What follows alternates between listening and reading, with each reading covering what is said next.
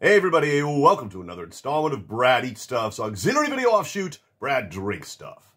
So the other day I went to Family Mart and saw something new in their beverage case, the uh, Suntory Melon Punch. That's right.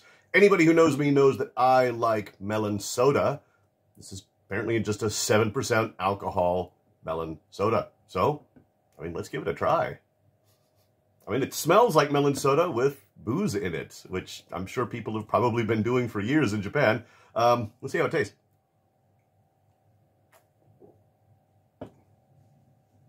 Yeah, man, that's melon soda with booze. There's nothing complicated about that. This is just unofficially made um, alcoholic melon soda. I mean, it's suitably sweet.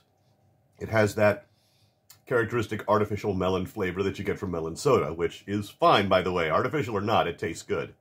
Let's go ahead and have one more swig, just be safe.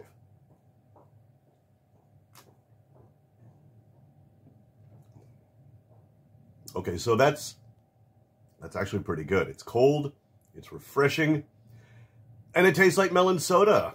Honestly, uh, if you like melon soda and you want something, you know, a little bit harder, something spiked, this is what to get.